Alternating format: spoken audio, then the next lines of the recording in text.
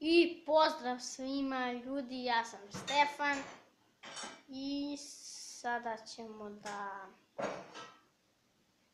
da, nećemo ništa.